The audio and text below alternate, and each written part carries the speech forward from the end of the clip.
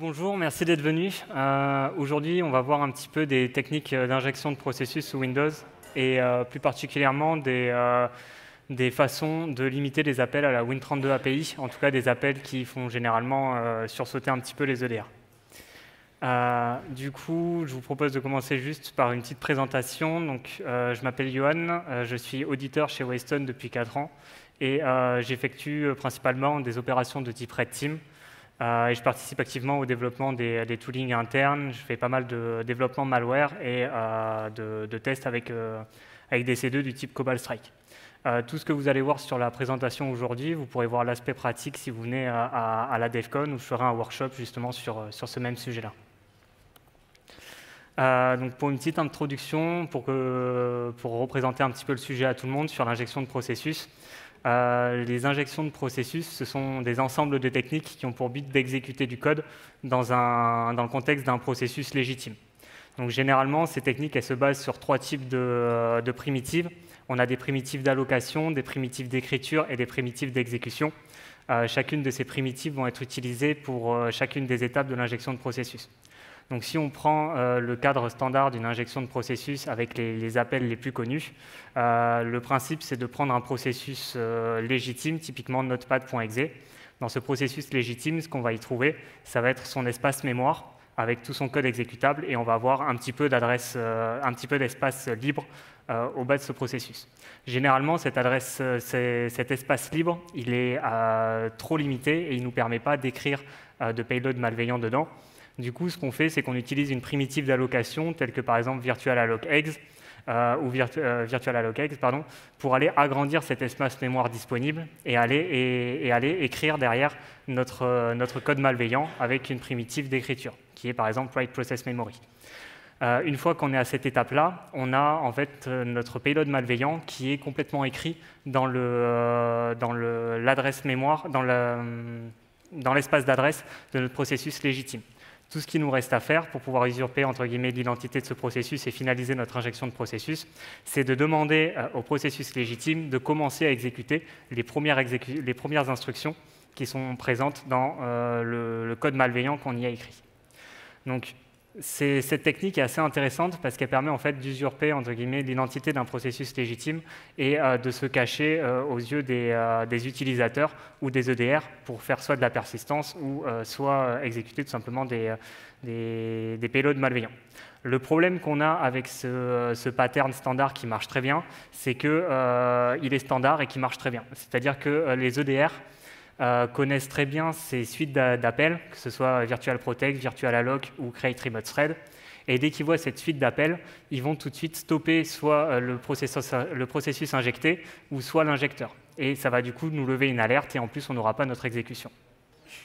Donc le but, tout le but de notre présentation ici, ça va être de voir comment on peut arriver au même résultat en euh, limitant les appels justement à Virtual Protect, Virtual Alloc et euh, Create Remote Thread. Donc, euh, ce qu'on va voir, c'est on va voir comment on peut changer les allocations, les primitives d'allocation, les primitives d'exécution, et on va voir en même temps quelle est la réponse d'un EDR à chacune des modifications qu'on va faire. Euh, je ne me penche pas sur, sur la primitive d'écriture parce que pendant mes, euh, travaux, ça n'a pas été la primitive qui a vraiment euh, posé des problèmes ou levé des grosses alertes. Les, primitives qui m'ont posé le plus de problèmes, ça a été vraiment l'allocation et l'exécution. Donc ce qu'on va voir, ça va être à chaque fois quel est le, problème lié à la primitive standard d'allocation et d'exécution, la solution qui est proposée et quel, effet a sur l'EDR cette, cette solution-là.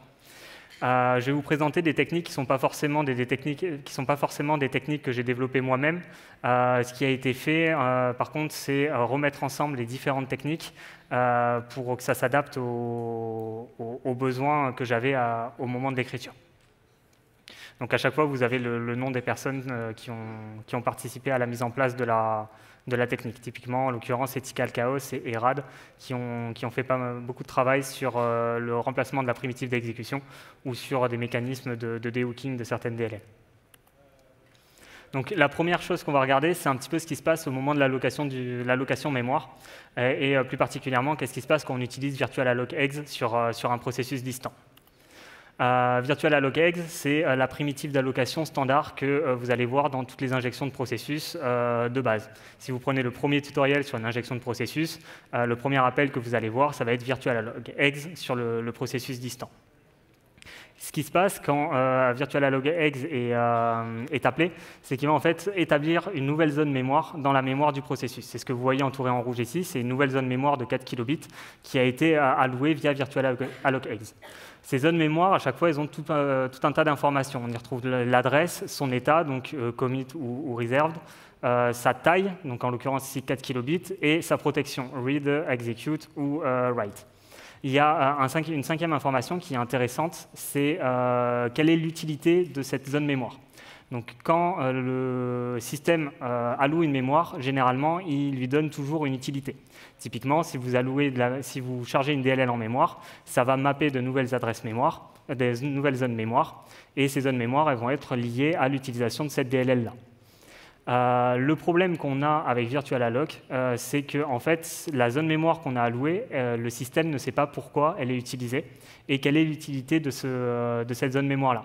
Du coup, les EDR, ils peuvent récupérer ce genre de, comportement-là et ça peut commencer à lever certains signaux faibles. Euh, si on regarde d'autres fonctions un petit peu plus haut niveau, euh, on peut voir la fonction load library A, qui est une fonction qui est utilisée généralement bah, uniquement pour euh, load des, DLL en mémoire. Et elle fait le travail très bien. Et en plus, elle a un effet de bord qui est assez intéressant. C'est que quand elle charge la DLL, bah, pour pouvoir charger la DLL dans l'espace de notre processus, elle a forcément besoin d'allouer de l'espace mémoire supplémentaire. Et le fait qu'elle alloue de l'espace mémoire supplémentaire, euh, c'est intéressant pour nous parce que du coup, on peut faire une allocation dans la mémoire du processus sans avoir forcément besoin de faire un appel directement à euh, virtual alloc eggs ou euh, virtual alloc. Euh, l'autre intérêt, euh, c'est que la zone mémoire qui va être euh, allouée, elle a une utilité approuvée par le système. Donc en l'occurrence, si vous regardez sur le screenshot ici, il y a 6 ou 7 zones mémoire, sections mémoire qui ont été allouées, et elles sont toutes liées à l'utilité de la DLL winmde.dll, qui est la DLL de, Defender. Donc, toutes les choses qu'on va écrire dans ces, zones mémoire-là, le système va considérer que l'utilité, c'est l'utilité de winmde.dll. Donc la question, c'est en fait comment on peut faire ça, parce que là, on est en train de demander euh, à, un processus euh, de charger une DLL sans forcément avoir euh, d'action sur le processus là. En fait, c'est un petit peu contre-intuitif, mais on va faire une injection de processus. La différence, c'est que on peut se passer de certaines Win32 API, ou en tout cas, l'utilité des API qu'on va, utiliser ne sont généralement pas remontées par le DR. Donc, ce qui va se passer, c'est qu'on reprend notre processus initial avec son, adresse mémoire, son adressage mémoire, et euh, on va soit essayer de trouver un espace mémoire libre, donc ce qu'on appelle une code cave, sur laquelle on peut écrire, euh, de faible taille, ou sinon on va faire une allocation avec virtualalloc eggs de faible taille. Quand je dis de faible taille, la taille minimale c'est 4 kilooctets, et généralement les allocations de 4 kilooctets euh, ne sont pas remontées par l'EDR. En tout cas, ne lèvent pas de grosses alertes par l'EDR et, et permettent... Voilà. Euh, l'intérêt d'avoir cette zone mémoire, c'est tout simplement de pouvoir aller écrire dans le processus légitime le nom de la DLL qu'on va lui obliger à charger. Donc euh, là, en l'occurrence, c'est pour ça qu'on peut se permettre d'utiliser soit des codes cave ou euh, soit faire des allocations de faible taille. une fois qu'on a fait ça, tout ce qu'il nous suffit de faire, c'est d'aller chercher l'adresse de load library A qui est, qui est, déjà chargée dans le processus et de lui demander de s'exécuter avec comme paramètre le nom de la DLL qu'on veut lui faire charger. Donc l'intérêt ici, euh, c'est qu'en fait, euh, on n'a pas besoin euh, d'aller écrire énormément de données dans le processus, on n'a pas besoin de faire de grosses allocations, et toutes les adresses mémoire ou toutes les fonctions qu'on va utiliser sont déjà chargées dans le processus distant. Typiquement, le load library A, c'est une fonction qui est chargée de base dans, dans les DLL chargés par le processus. Donc maintenant qu'on a ça, le point qu'il faut réussir à faire, c'est d'aller écrire notre payload dans les zones mémoire qui ont été, qui ont été allouées par la DLL. Donc, euh, ce qu'il faut faire attention, c'est qu'on ne peut pas écrire n'importe où dans la DLL. Euh, en fait, les sections de la DLL, elles ont des protections spécifiques. par exemple, la section data, euh, sa protection, c'est on peut seulement lire ou écrire. la section texte, qui est celle qui va nous intéresser, on peut faire de la lecture et de l'exécution. Euh, on ne peut pas écrire, par exemple, dans la section data euh, le payload, parce que si on change sa protection pour la rendre exécutable, euh, l'EDR peut se rendre compte qu'il y a eu des modifications de cette section, que le code est en train de s'exécuter depuis une section dont la protection a été changée, et ça peut lever des alertes. Donc en fait, on va essayer la plupart du temps de se mettre directement dans la section texte. Donc en fonction de la taille du payload qu'on va essayer de charger, il va falloir trouver la DLL adéquate. Euh, donc tout ce qu'on a à faire, en fait, c'est changer temporairement la protection de la section texte pour la passer en, read-write, euh, écrire derrière notre euh, payload dedans, la repasser en, la repasser en, en read-execute, et on a terminé notre travail. Il y a une technique qui est sortie il n'y a pas longtemps, donc qui a été redécouverte, qui se base sur ce principe-là, mais au lieu de faire des changements de protection, c'est tout simplement essayer de trouver des DLL qui ont directement des, des sections en read-write-execute. Donc il suffit d'aller chercher dans Windows la DLL qui va bien. Euh, donc voilà pour le, principe de base sur comment on peut changer euh, Virtual Alloc par euh, un appel à la Win32 API qui est plus haut niveau et se servir uniquement des effets de bord. Donc on peut se dire qu'au final, le système il a fait quand même un appel à Virtual Alloc et qu'on retrouve du coup forcément toujours les mêmes indicateurs de, compromission et que le DR, lui derrière, il va, il va forcément trouver le, trouver le superfuge. Euh, le point est que quand on met sous la supervision d'un EDR, en l'occurrence ici c'est MDE, euh, quand on fait notre euh, injection de processus avec Virtual Alloc, tout de suite on, remarque des alertes qui sont montées dans, MDE qui montrent qu'il y a une allocation mémoire étrange qui a été faite dans le processus distant. Euh, quand on le fait avec la, méthode présentée, donc un mélange de module stomping et DLL injection, euh, en fait, la zone mémoire allouée euh, ne remonte pas dans MDE et l'exécution qui est faite, comme elle est faite depuis une mémoire qui est backée par le système, ne lève beaucoup moins d'alertes. Donc ça permet vraiment de supprimer cette IOC d'allocation mémoire étrange faite sur le processus distant. Donc bien sûr, il y a des problèmes sur toute fonctionnalité, euh, c'est-à-dire que là, euh, on, a, échangé l'IOC sur, euh, sur l'allocation mémoire par de l'IOC sur de l'exécution. C'est-à-dire que quand on a fait notre chargement de load library, on a utilisé une API qui est fortement, surveillée, qui est créée Remote Thread. Et en fait, MDE, tout de suite, il arrive à trouver le fait qu'on a un, un create remote thread qui a été fait et euh, en plus de dire qu'il y a quelque chose de bizarre qui s'est fait, il détecte tout de suite qu'il y a eu une tentative d'injection de processus. Le deuxième point, c'est que euh, load library A, euh, c'est une fonction qui lève des événements ETW. et du coup, si on le regarde avec Sysmon ou autre, on va voir tout de suite un événement Sysmon qui montre qu'une DLL a été chargée dans le processus. Donc ce n'est pas l'événement le plus important, mais ça reste quand même un IOC qu'il faut prendre en compte. Donc avec cette technique-là, ce qu'il faut voir, c'est qu'on euh, n'a plus tous les IOC qui sont liés à l'allocation mémoire sur le processus distant. Par contre, on a échangé cet IOC-là par un IOC lié euh, à de l'exécution, euh, à forcer l'exécution du processus distant. Donc du coup, ce que je vous propose euh, de voir, c'est tout simplement bah, maintenant comment on peut faire pour supprimer cet IOC-là, euh, qui est euh, en fait un, IOC important. Et finalement, le create remote thread, dans la majorité des, des injections de processus, c'est une API qui est utilisée et qui est nécessaire pour l'exécution de notre code.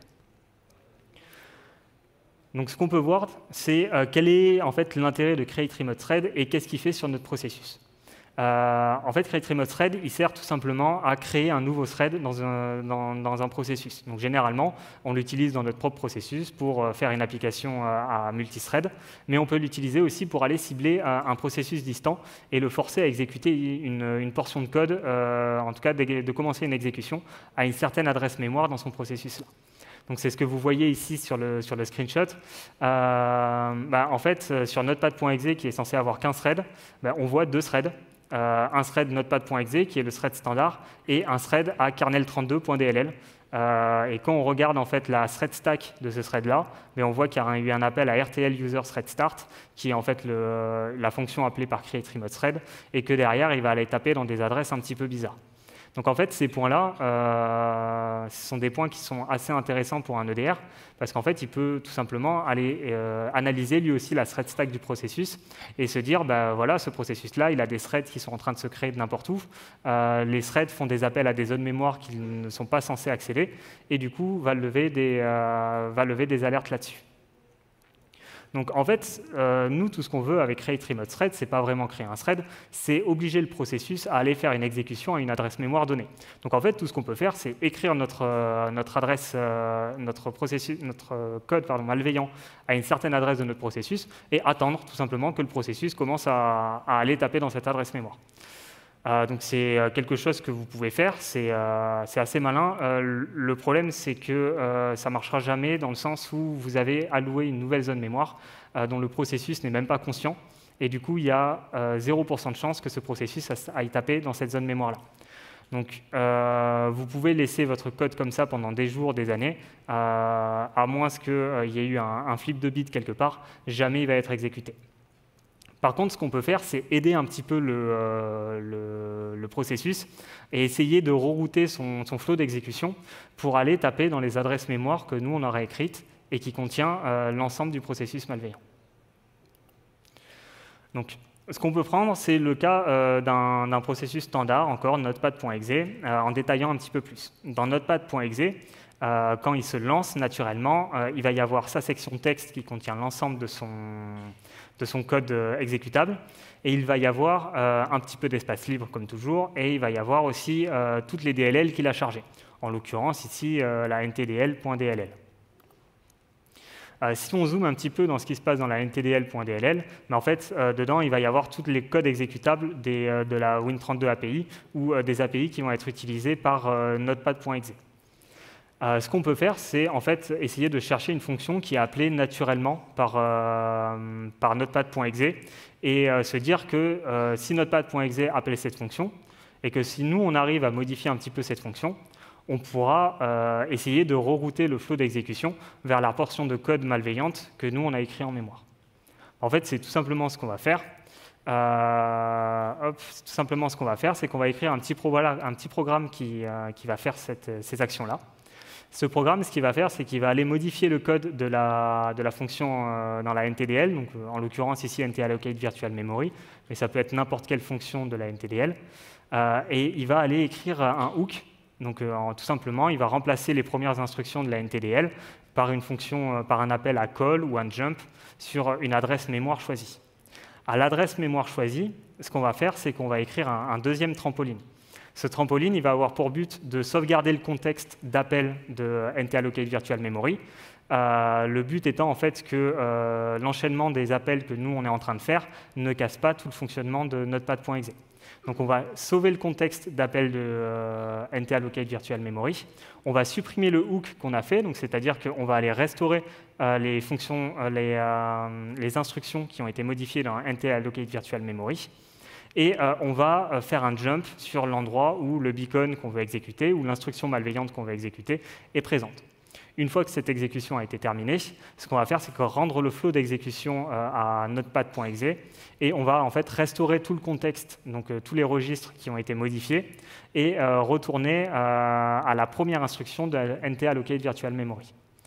Donc en fait, ce qu'il faut voir, c'est que d'un côté, on a modifié un code légitime, ce code légitime, on sait qu'il va être appelé et on l'a modifié de façon à pouvoir en fait interrompre le flot d'exécution de, euh, de notepad.exe et le rerouter vers une adresse que nous on a choisie.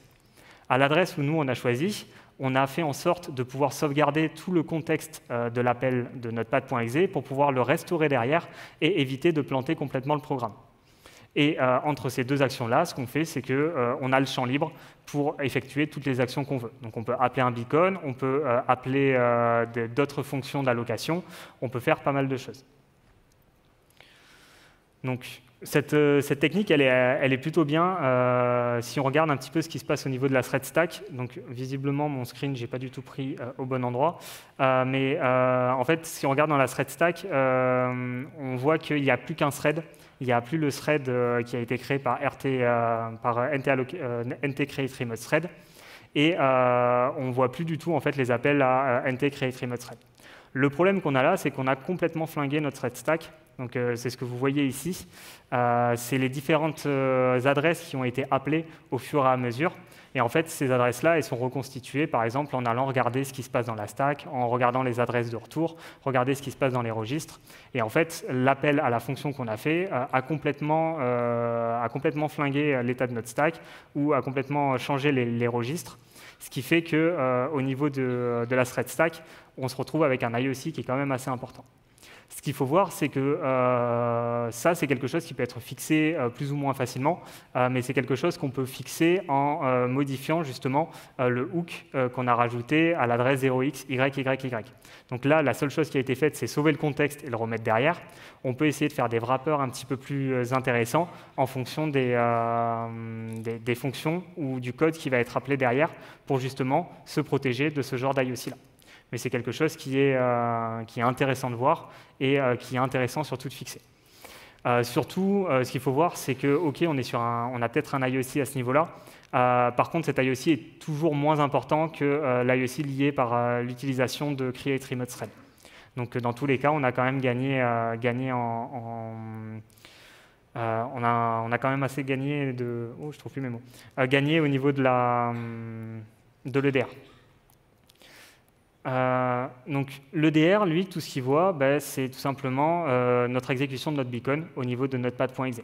Donc c'est ce que vous voyez ici, on a lancé notepad.exe, on a lancé notre exécution, et euh, le deuxième événement que MDE voit au niveau du processus notepad.exe, c'est plus des allocations mémoire bizarres, c'est plus des créations de threads, mais c'est tout simplement notepad.exe qui est en train de communiquer avec le, le serveur C2.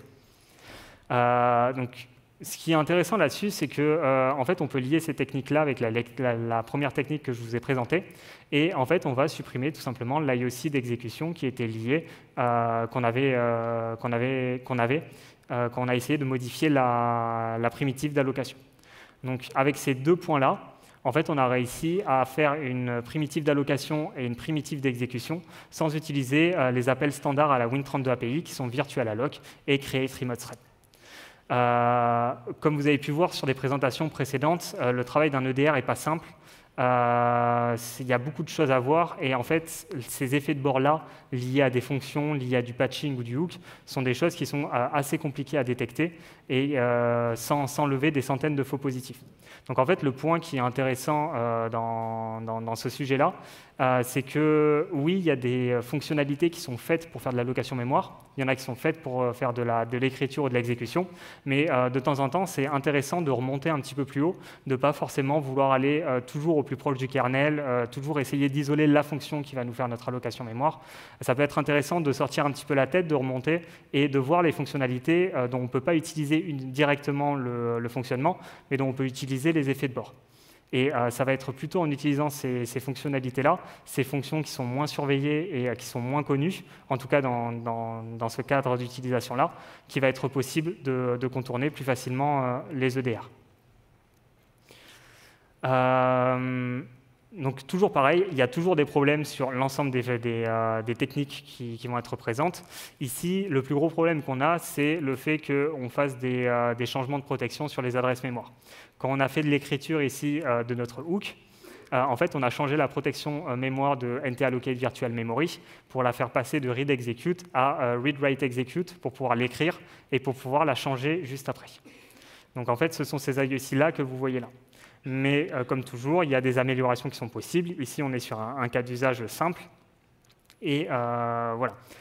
Sur l'ensemble des points que j'ai relevés, euh, le, principal, c'est qu'on utilise euh, de la zone mémoire en read-write-execute. Donc, euh, le fait d'utiliser des zones mémoire en read-write-execute sont généralement des points qui sont relevés par les EDR et qui sont des forts marqueurs de, soit d'injection de processus ou soit de comportements étranges qui font penser, à du malware. Donc ça, c'est un IOC qu'il faudrait enlever le, plus rapidement possible. La méthode qui serait entre guillemets la plus simple, en tout cas la, plus évidente, euh, c'est de faire en sorte que le hook, euh, que le hook pardon, fasse des appels lui-même à Virtual Protect. Comme ça, en fait, les changements de protection sont faits directement depuis l'intérieur du processus et euh, ce sont des événements qui sont généralement moins relevés par les EDR.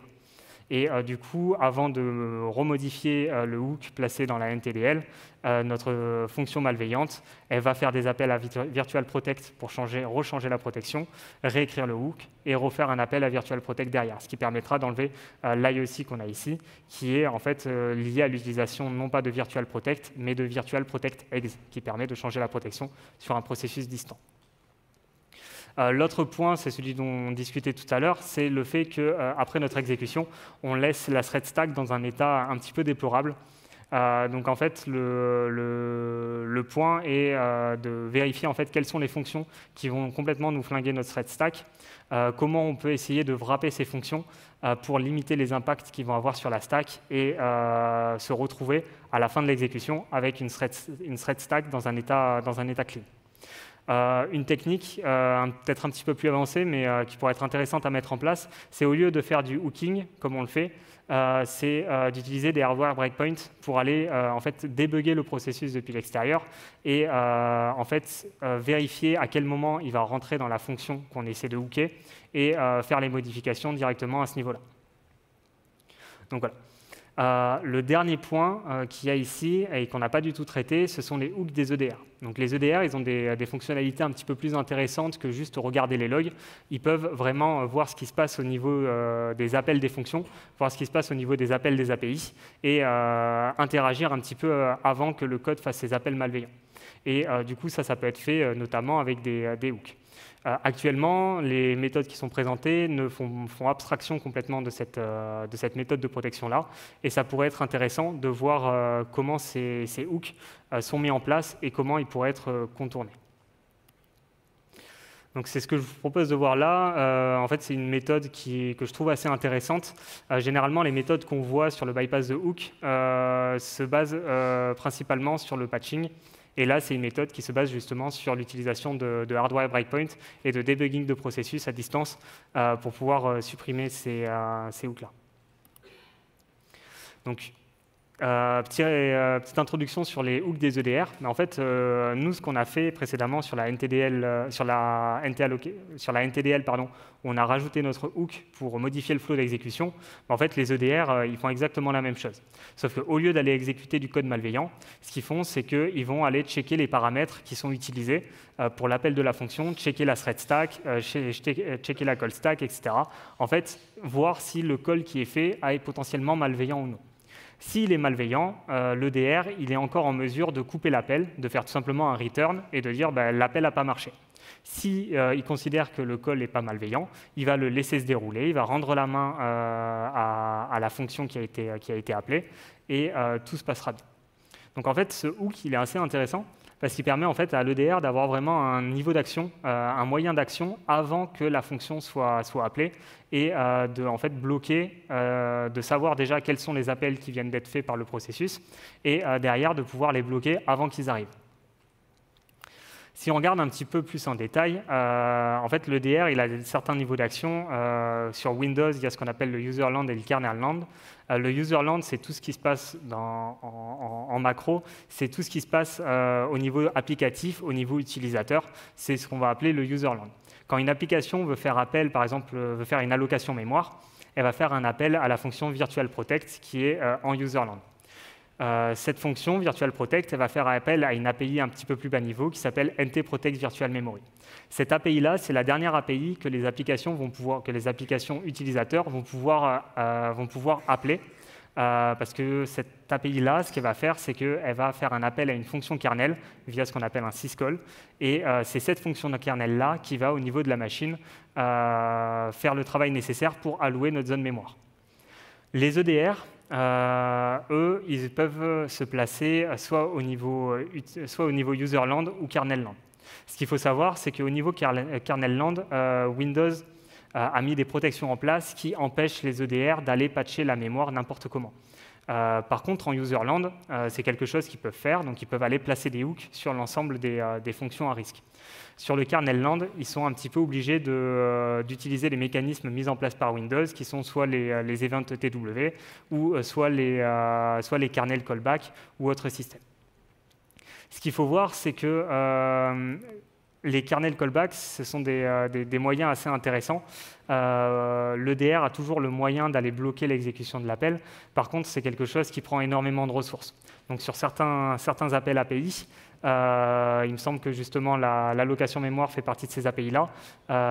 Comme ce sont des appels qui sont faits régulièrement par le système, l'EDR ne peut pas n'a pas la possibilité d'aller vérifier l'ensemble des appels. Et du coup, il doit se baser uniquement sur des événements du type ETW qui ne lui donne aucun champ d'action euh, sur le fonctionnement.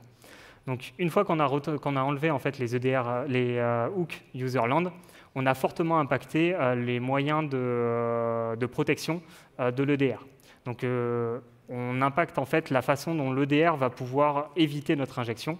Par contre, on n'empêche pas la détection. C'est-à-dire que euh, tous les événements qui vont être liés euh, au kernel euh, sont des événements qui vont quand même être récupérés par l'EDR, et l'EDR va pouvoir se rendre compte qu'il y a eu une injection qui a été faite. Donc le, un des plus gros intérêts d'enlever les hooks userland, c'est surtout de forcer en fait l'exécution de notre, de notre programme et non pas d'empêcher la détection. Donc la question, c'est comment on peut justement enlever ces, euh, hooks userland. La technique la plus simple, c'est en fait d'aller patcher directement la fonction. Quand l'EDR euh, a mis ces hooks, il les a mis dans l'espace mémoire du processus. Et comme nous, on a l'action sur l'espace mémoire du processus aussi, ce qu'on peut faire, c'est aller tout simplement euh, remodifier les adresses mémoire qu'il a écrites, enlever son hook, remettre, restaurer les instructions standards, et on a enlevé du coup le hook de l'EDR sans que l'EDR s'en rende compte. Le problème, c'est que euh, si le DR va faire un check d'intégrité euh, des DLL ou euh, des fonctions et toutes les fonctions qu'il a hookées, il va se rendre compte rapidement que le hook est plus là. Et tout de suite, il va savoir qu'il y a quelque chose de, bizarre qui se passe et il va lever une alerte. L'autre problème, c'est que pour ces, appels-là, pour pouvoir repatcher les hooks de l'EDR, on va à, on va généralement faire appel à Virtual Protect, qui est une fonction qui va être elle-même protégée. Donc du coup, derrière, c'est un petit peu le serpent qui se mord la queue. Donc la technique qui, euh, est proposée ici, qui a été, il me semble, pour la première fois rendue publique, c'était par, euh, RAD, euh, c'est utiliser des hardware breakpoints. C'est-à-dire qu'au lieu d'aller patcher l'EDR, on va faire des appels sans paramètres, passer les protections de l'EDR, vu qu'on fait des appels sans paramètres, l'EDR n'a pas l'impression que l'appel est malveillant. Et euh, juste avant qu'il passe la main au kernel, on va aller repatcher ces paramètres-là en mémoire pour faire notre appel initial. Donc en fait, cette technique, ce n'est pas une technique de, de dehooking, c'est une technique qui permet de euh, passer entre guillemets, les, euh, les checks de l'EDR et de modifier les paramètres à partir du moment où l'EDR aura, aura un champ d'action réduit sur, sur l'appel qu'on va faire. Donc, pour le petit schéma, euh, on a notre processus malveillant qui veut faire euh, soit une injection de processus ou euh, soit d'autres choses malveillantes. ce qu'on peut faire, c'est mettre un breakpoint, c'est en fait faire du self-debugging sur son processus et dire qu'à chaque fois qu'on va taper sur un syscall, bah, il faut lever un événement de debug. Donc ça, ça peut être fait facilement en changeant certains registres du processus, qui sont les, les registres DR0, DR7 et DR6. Donc à chaque fois qu'on va taper un syscall, euh, à chaque fois qu'on va taper un syscall, notre processus va lever un événement euh, disant attention, il y a un événement de debug, il y a, un, événement de debug qui a été levé. Pour éviter que le programme plante à cet événement-là, il faut mettre euh, un breakpoint handler. Donc en fait, c'est tout simplement configurer une fonction et lui dire, ben voilà, dès que tu détectes un événement, dès, que tu détectes un événement de debug, appelle cette fonction-là, c'est elle qui va traiter cet événement-là. Ça, ça peut être fait avec la fonction euh, qui est tout simplement la fonction générique qui va catcher l'ensemble des événements qui ne sont pas catchés généralement par le, par le processus. Cette fonction, elle a pour but euh, d'aller en fait repatcher en mémoire, euh, donc soit dans les registres, soit dans la stack, les paramètres qu'on voudrait utiliser pour notre appel malveillant. Donc euh, ça, ça peut être fait euh, vraiment en allant modifier directement dans l'adresse de la stack ou dans les registres, euh, rajouter nos paramètres en fonction, de la convention d'appel de la fonction qu'on est en train d'appeler. Et derrière, une fois qu'on a mis tout ça en place, on peut tout simplement faire notre appel malveillant Mais au lieu de lui donner directement les paramètres malveillants, on va lui donner des paramètres random. Donc, euh, par exemple, si on fait un ntprotect, on peut lui donner euh, euh, une adresse mémoire qui n'existe pas. On peut lui donner une protection, une protection read-write sur une adresse qui est déjà en read-write. Donc, en fait, tout ce qui est possible de faire pour faire en sorte que le DR n'ait pas l'impression qu'on est en train de faire quelque chose de, de malveillant. Hop. Donc, ce qui va se passer quand on va faire notre ntprotect, euh, ben, notre euh, processus malveillant, il va faire euh, appel à, la fonction ntprotect virtual memory qui est dans la ntdl. il va passer par le hook de l'EDR. Il va faire toutes ses, actions. Et à un moment, il va faire un appel au syscall. Comme on a configuré un breakpoint sur toutes les instructions syscall, dès qu'il va faire appel à son syscall, ça va donner la main à notre fonction breakpoint handler. Ce breakpoint handler, il va voir qu'il y a un appel qui est fait avec un syscall, euh, avec des paramètres random, donc là en l'occurrence c'est du nul de partout. Et lui, ce qu'il va faire, c'est qu'il va aller repatcher en mémoire, donc dans les registres et euh, dans la stack, les euh, différents paramètres pour que l'appel soit malveillant. Et une fois qu'il a fait ces modifications-là, il va rendre la main à NTProtect Virtual Memory, qui va pouvoir finaliser son syscall. Et quand il va faire son syscall, il va voir que les paramètres euh, sont les paramètres malveillants qu'on souhaitait. Donc d'un point de vue de l'EDR, en fait, tout ce qu'il a vu, en tout cas d'un point de vue userland, euh, c'est qu'on a fait un appel qui est euh, complètement inutile sur des adresses mémoire bizarres, mais rien de particulier. Par contre, ce qui a été vraiment fait et ce qui a été récupéré par le kernel, c'est un, appel à NTProtect Virtual Memory avec des zones d'adresse malveillantes. Donc voilà, c'était à peu près tout ce que je voulais vous présenter sur, euh, ces fonctions-là, sur ces principes-là. Euh, le vrai message que je voulais faire passer ici, c'est vraiment euh, quand on est bloqué sur de la Win32 API, quand on se dit ben, cette fonctionnalité-là, elle est vraiment faite pour cette action-là, il faut essayer d'aller regarder un petit peu plus loin. essayer de, voir, de prendre un petit peu de recul sur l'ensemble des fonctions de la NTDL et voir quelles sont les fonctions qu'on pourrait utiliser euh, pas forcément directement, mais dont on pourrait abuser les effets de bord pour arriver exactement au même, euh, au même résultat. L'autre intérêt, c'est que généralement, quand on fait appel à des, à des fonctions qui sont moins connues, euh, les EDR les surveillent peut-être pas forcément, que ce soit pour des questions de ressources ou que ce soit tout simplement pour, pour, pour, du temps de développement. Mais ce sera toujours intéressant et ça vous, ça vous donnera toujours un, un avantage là-dessus. Donc voilà, j'espère que ça vous a plu.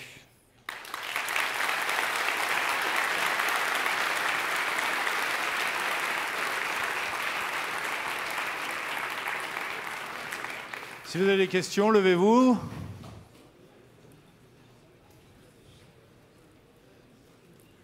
Un micro.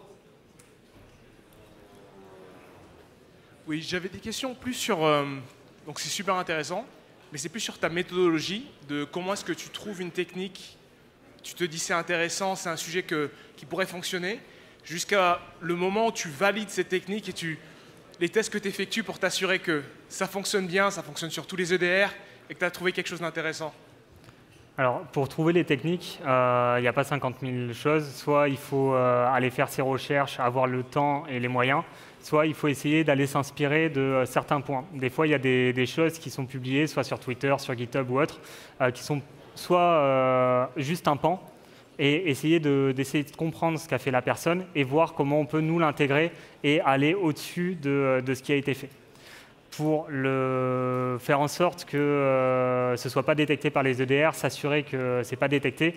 Il euh, n'y a pas de miracle. En fait, ce que je fais, c'est que chez moi, j'ai un lab sur lequel j'installe des, euh, des, EDR. Je le passe dessus et tant que ça ne marche pas, je change le code. Euh, je regarde, j'essaie de voir quel est l'appel API qui, qui, fait que ça ne marche pas. Est-ce que cet appel-là, je peux le remplacer? Est-ce que j'en ai vraiment besoin? Est-ce que c'est l'appel qui ne marche pas? Ou est-ce que ce sont les paramètres, etc. etc. Donc c'est de l'itération, je n'ai pas de choses magiques. Si tu en trouves, euh, envoie-moi un message. Oui. Euh, bonsoir. Du coup, moi j'avais une question. Alors c'est plus par rapport au process injection que par rapport à l'EDR.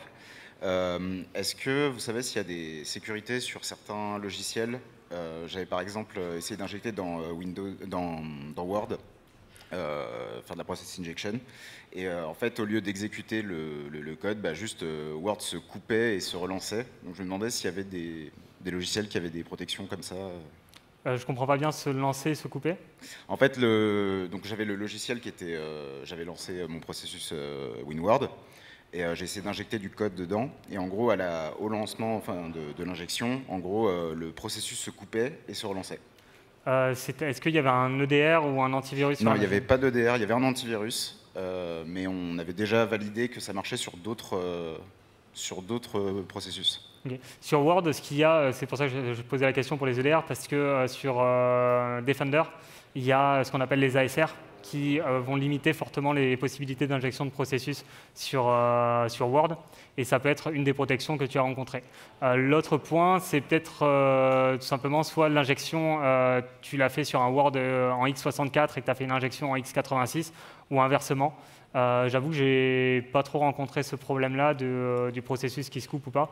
Pour moi, le processus qui se coupe et qui se relance, c'est que lors de l'injection, euh, il y a une, instruction qui est mal passée ou un appel qui est mal passé et qui a fait planter le processus et naturellement Windows l'a relancé. Donc le, point que tu peux faire là-dessus, c'est refaire la même chose avec un, debugger et analyser le, le, DOM du debugger pour voir exactement ce qui s'est passé. Généralement, ça va être euh, euh, un buffer overflow quelque part euh, tu es allé lire dans une adresse mémoire qu'il ne fallait pas, un access violation ou, ce genre de choses-là. Après, juste avec cette description-là, je ne peux pas... je me doute. Merci.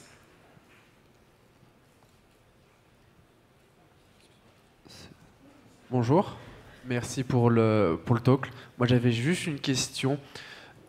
Vous exploitez une, un espace libre dans Notepad++.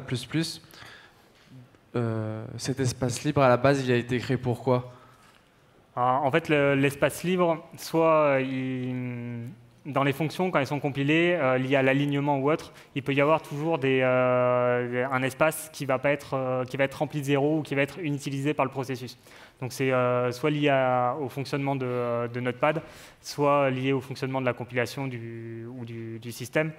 mais ce sont des espaces qui sont généralement très restreints et qu'on ne peut pas vraiment utiliser, sauf pour écrire de, faibles, de faibles quantités de données. Donc c'est pour ça que le point est que généralement on va faire une allocation mémoire via virtualalloc ou autre. Donc euh, ces, zones-là, mémoire qui sont vides, c'est ce qu'on appelle des code caves et euh, sont des choses qui sont toujours intéressantes à trouver, surtout quand on a un petit peu de, euh, on a vraiment juste quelques, quelques octets de données à écrire dans un programme. Donc ce serait plus un, un problème de compilation entre guillemets? C'est pas vraiment un problème de compilation, c'est vraiment au, niveau, au moment de la compilation, il faut que les, les, adresses soient alignées ou autres, et le fait de cet alignement, ça fait que si le code, le code exécutable il fait 2-3 bytes de moins, mais on va avoir 2-3 zéros de padding qui vont être rajoutés. bonjour.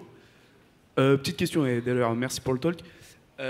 durant la présentation, du coup, vous avez beaucoup parlé qu'il y avait un, sérieux appui des EDR avec ETW. Et euh, je voulais savoir si vous aviez déjà essayé un petit peu de, coupler vos techniques euh, que vous avez présentées avec un patch de TW et euh, voir les résultats que ça a donné simplement. Ouais. pour le patch des ETW, c'est quelque chose que j'avais, fait, que j'avais regardé il y a quelques temps. moi, ce que je vois, c'est que les ETW, c'est très intéressant pour avoir de la, télémétrie, pour avoir les informations sur les actions qui sont faites. le problème, c'est que derrière, ça offre peu de, champs d'action aux EDR pour aller stopper l'exécution.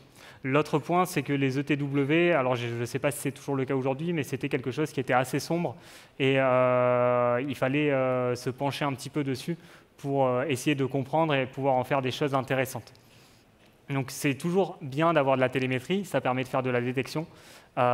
si les EDR, les certains EDR l'utilisent, moi je sais qu'il il me semble que c'était sous du Sentinel-1 ou autre, le fait de patcher les ETW avait permis de limiter une détection mais ce n'est pas quelque chose de magique. Patcher un ETW sur un code euh, basique ne permettra pas de contourner l'EDR en mon sens.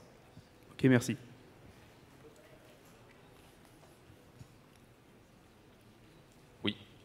Bonjour.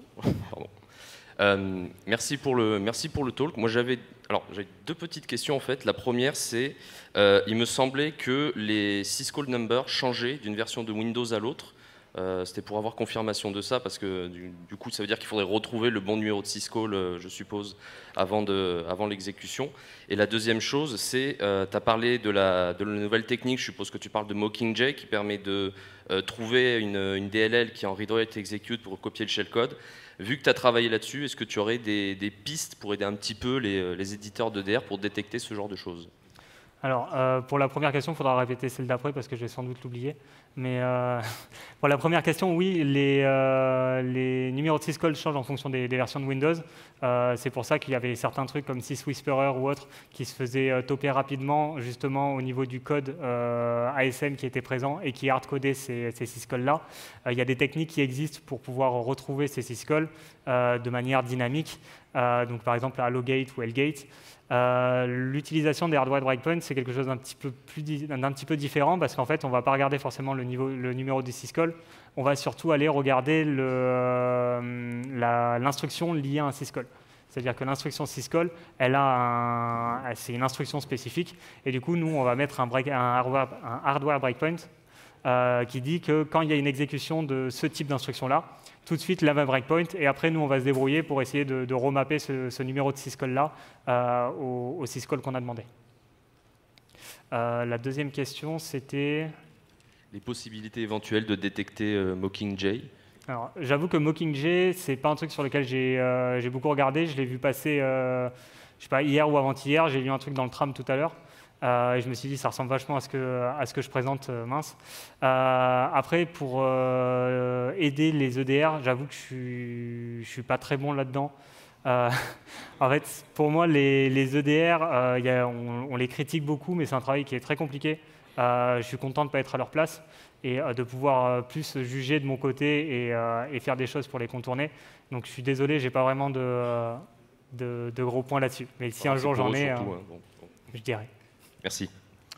Euh, merci. Je pense qu'on ne va pas prendre plus de questions à cause de l'horaire. Euh, je vous demande d'applaudir Johan Dekeker.